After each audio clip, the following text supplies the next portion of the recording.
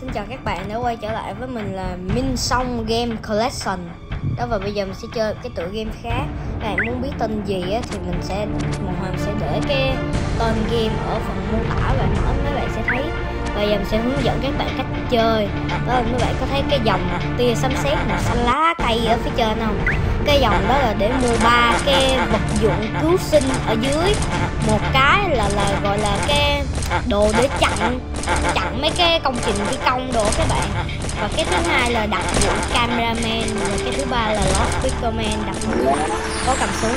Ừ, nhanh dữ rồi các bạn mới nói xong cái thắng luôn. Bây giờ bây mình sẽ nhảy qua màn tiếp theo nha các bạn. Mới nói xong một phát cái là thắng luôn các bạn à. Ở rất là nhanh. Và bây giờ mình sẽ um, thôi đừng có nâng cấp. Cái đó là để nâng cấp lên đó các bạn nâng cấp ba cái vật dụng cứu sinh đó bây giờ mình sẽ chơi tiếp vòng tiếp theo là level 5 đó là vòng này, cha, coi bộ vòng này căng thẳng hơn nha các bạn. Các bạn đón xem nha các bạn. Đừng có bỏ lỡ qua cái clip nha các bạn. Các bạn mà bỏ qua một cái là mấy bạn không có hiểu gì luôn á. Nó không, mấy bạn hiểu lầm mình.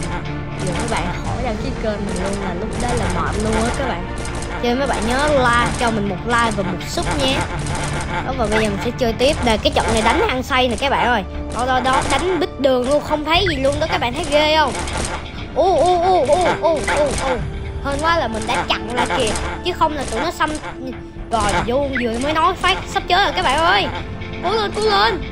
Cố lên mấy bạn ơi sắp chết rồi sắp chết rồi. Chết rồi chết rồi. Thắng luôn. Mới nói xong cái là victory thắng. Đã thắng đã thắng. Và mình đã thắng mấy bạn cho mình một like và một sub nhé. Đó và bây giờ mình sẽ bấm nốt thanh có nghĩa là không cảm ơn. Và thôi bye bye các bạn nha